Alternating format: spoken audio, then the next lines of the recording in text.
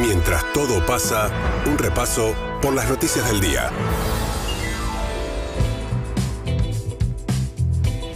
Emilce Pizarro. Hay como un viral, ¿no? De, peleas, porque no sé si es porque el caso Baez Sosa está teniendo un eh, rebote mediático tremendo, porque hay más peleas que nunca. O qué, porque viste, cuando hay una muerte trágica con una puerta tijera o una ascensora, aparecen 100 casos de Claro, puerta tijera. sí.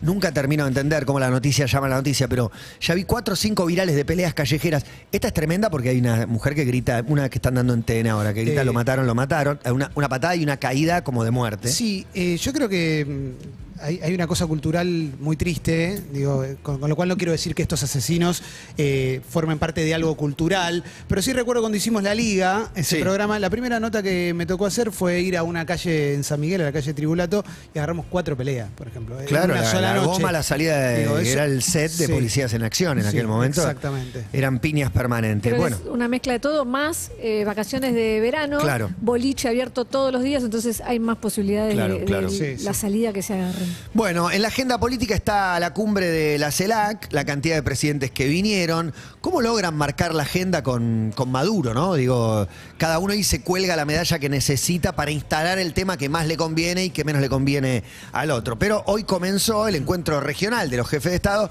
y la agenda política, según el medio que leas, es una u otra, ¿no? Pasan cosas totalmente diferentes. El presidente encabezó, encabeza esta mañana la reunión del Foro Latinoamericano. Es la primera vez que están los 33 países miembros, aunque hay faltantes de peso, como el caso del presidente de México, Manuel López Obrador. AMLO. AMLO. Tampoco está el nicaragüense Daniel Ortega, denunciado por violaciones a los derechos humanos, ni tampoco Dina Boluarte, que es la presidenta eh, en Perú en la crisis post-autogolpe de Pedro Castillo, que está con un par de problemas ella en su país. No, está- está Sale, caliente. no vuelve a entrar. Si sale no vuelve a entrar, sí, de hecho. Está caliente el tema en. Perú. Lo que definió Alberto Fernández es que va a ser a puertas cerradas durante todo el día de hoy en el Sheraton. Traten de evitar la zona si pueden. Condenó los bloqueos a Venezuela y a Cuba y advirtió que la región eh, está eh, la democracia en riesgo. Llamó también a no permitir que la derecha recalcitrante, así lo dijo, y fascista ponga en riesgo a nuestros pueblos. Mauricio Caminos lo destaca hoy en el diario AR. Dice que el presidente Alberto Fernández decidió esto de hacerlo a puertas cerradas, en lo que no podemos ver eh, ni siquiera en una transmisión vía streaming. En la anterior cumbre en México, por ejemplo, se pudo seguir con cámaras cuando, por ejemplo, cho- habían chocado verbalmente los representantes de Uruguay y Paraguay contra Venezuela y Cuba. Hoy no vamos a tener esa posibilidad. ¿Por qué? Por lo que generó el conflicto de Nicolás Maduro, que era la oposición marcando que eh, no podía venir, que no debía Claro, venir. Que tenía miedo. Si bien hay que detenerlo, eh, y ahí ya la agenda cambia, y un montón de políticos por ahí que, que no hubieran dicho nada en el medio se sienten obligados a decir, porque si no decís ya te quedás eh, afuera de, de alguna de las discusiones, ¿no? El caso de, digo, además de Macri, que, que por ahí en su agenda sí es un tema central, aparece el Lustó, no sé, hay un montón de, de periféricos, de, que te- estás obligado a decir algo. Te tenés que pronunciar y bueno, de hecho hicieron bastante ruido con eso y como dijo Clemen, uno de los que más rápido tuiteó apenas el gobierno de Venezuela dijo en un comunicado oficial que no iba a viajar, lo que decía el comunicado de Caracas hablaba de planes extravagantes elaborados por la derecha neofascista y decía que el objetivo era llevar a cabo una serie de agresiones en contra de la delegación venezolana y rápidamente salió a tuitear el expresidente Mauricio Macri y dijo que Maduro tuvo miedo, se dio cuenta que algo está cambiando en la Argentina. El- la lectura es, tuvo miedo porque sabe que volvemos nosotros, que esto no lo vamos a permitir.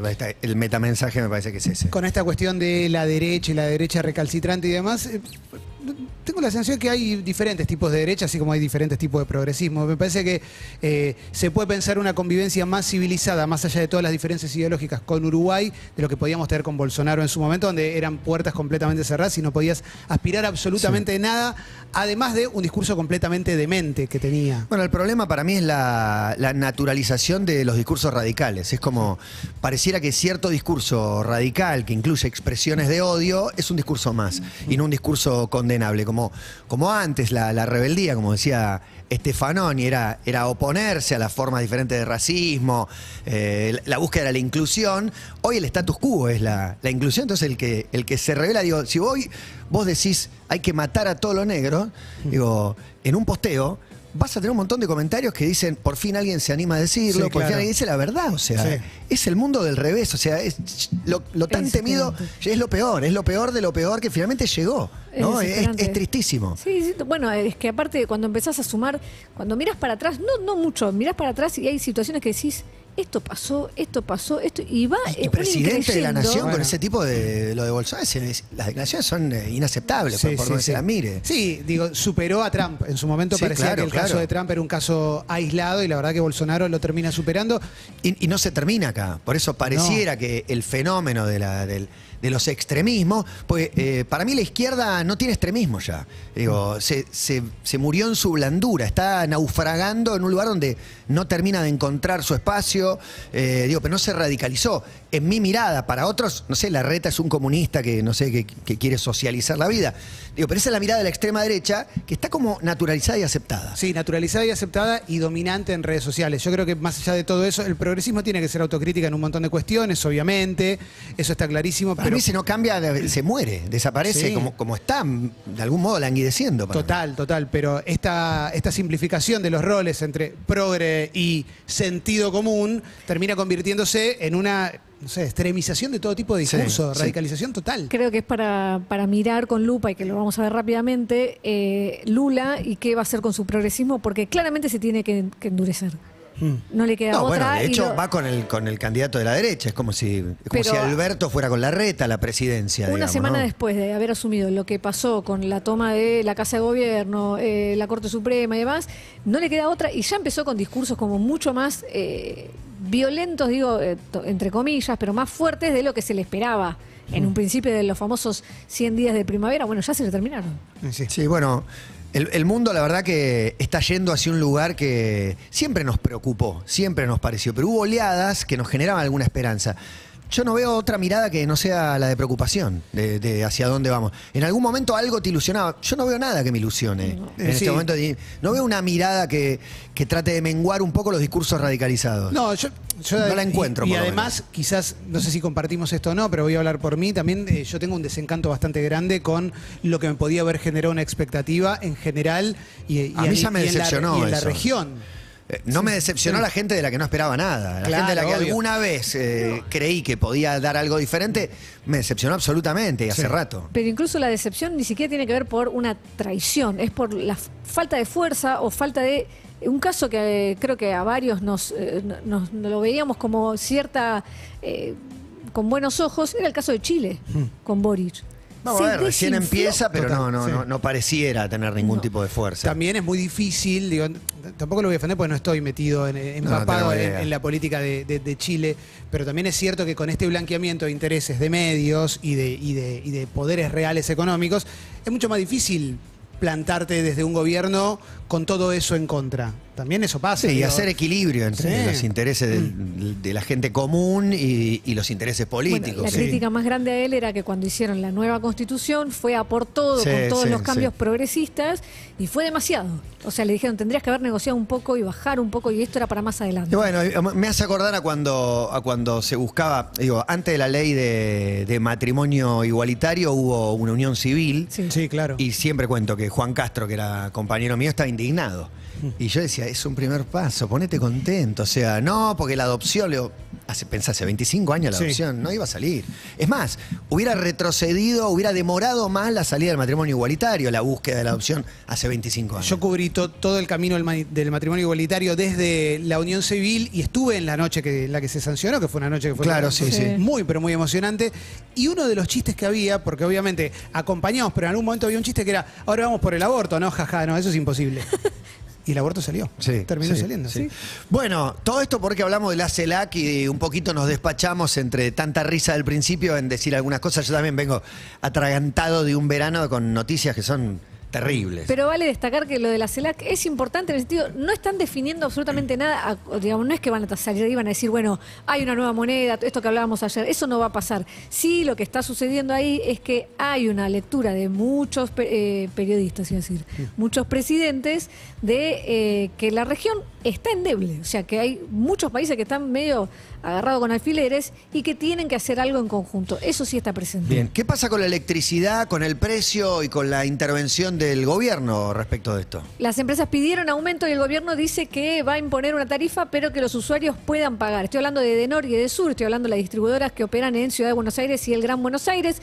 Pidieron ayer incrementar la tarifa que permita hacer frente a lo que ellos dicen que son los costos operativos de este año, pero el interventor del Ente Nacional Regulador de Electricidad dijo que eh, las tarifas solo iban a ser posibles de subir siempre y cuando sean en términos que los pueda pagar la gente. ¿Esto qué es? Tiene que ir eh, en función y en eh, línea con los aumentos de salario, que la verdad que no es muy alegre, así que, y también teniendo en cuenta la inflación. Bueno, ni de Nor ni de Sur hablaron de un porcentaje de aumento, sí plantearon que este ajuste era solo para simplemente los costos de operación. El diario AR cita una fuente de Nor que da una idea, dice que con lo que pedirían el 80% de los usuarios residenciales pasarían a pagar una factura promedio de 2.700 pesos. Y con eso cubrirían este déficit operativo. La buena noticia del día es que Argentina 1985 es la candidata, no es que ganó el Oscar, ganó el Globo de Oro, que es un montón, pero es la candidata a los premios Oscar y el Elijo Creer nos lleva al primer Oscar en el 86. Sí, tremendo, Y el último tremendo. al 22, una Tremendo. cosa... Y la temática, Matías. Aparte del 86 se premiaba lo del 85, 85. que es el año de la película. Está todo Ah, dado, está todo dado. Está, Voy a está decir todo- que llegó entre 62 películas, así que está muy bien. ¿Cuántos son los nominados? ¿10 o 5? No, Antes era cinco, Terna, después cinco. son 5. Son, eh, va a competir con una alemana, Que esa, esa creo que es la gran candidata. Esa está en Netflix. esa tiene nueve nominaciones. Sin novedad en el frente. Sí, sí, es una película La que, quiero que- que trasciende, trasciende de su categoría. Incluso está esta, la, la alemana está eh, nominada a mejor película. Más allá de Ah, mejor muy película bien. extranjera. Tiene, está nominada en guion, música, diseño de producción, maquillaje y efectos visuales. Las otras son Close de Bélgica, EO de Polonia y The Quiet Girl de Irlanda. Eh, no, no recuerdo cuáles son las que están nominadas a mejor película, pero creo que está Top Nada Gun. vi, nada Creo vi. que está Top Sí, Gun sí, No Maverick la vi, no me dijeron que era mala. eh. No. ¿Es buena? Es muy buena. Muy buena. Ah, no la Pero vi. muy- la, vas a la vas a disfrutar mucho. No vi la 1, ¿eh? Eh, la 1 la uno pasala de largo. No la vi la del 80 y pico. La 1 yo la vi. esta, la de esta. La 1 es una suerte. Cara de viento de Tom Cruise. No voy a acordar de tu... La 1 Era es Tom una. Cruise en el sí. 85. Ahora es Tom Cruise. Eh, es una película muy hormonal, obviamente, una película de los Hormonada. 80, muchos hombres en cuero.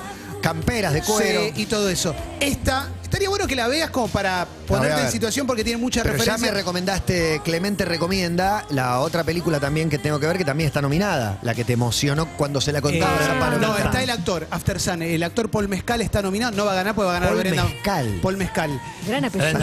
Llamado, a... apellido. Leve aire a Louta tiene y va a ganar Brendan Fraser. Ese papel lo más Ah. probable porque. The Whale, la película de Darren Tampoco la en- vi. En la ballena, la que hace Que de poco un- vi. Todo lo que tenés Hace de un obeso mórbido.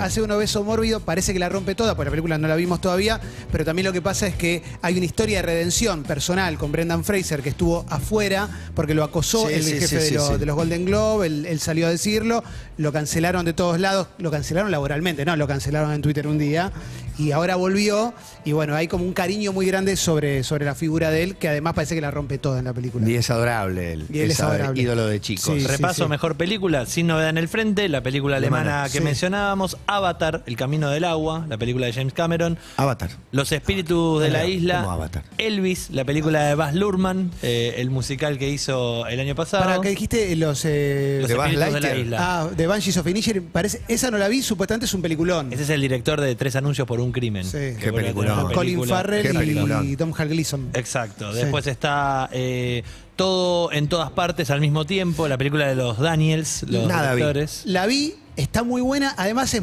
tiene todos los condimentos para la academia de esta, de esta época que... Políticamente eh, correcta. No, No. eh, no, y además tiene protagonistas eh, Orientales. asiáticos, sí. Eh, los Fableman, la nueva película de Steven Spielberg, que es una especie de... Autorretrato, digamos, ¿no? En ¿no? un rato en documentales vamos a hablar de Spielberg y, y lo que viene por delante. Tar, la película eh, protagonizada por, uy, se me fue el nombre, Novita. ayúdame, eh, la actriz esta rubia. La, eh, la hermana de. Dave McDarrell. no.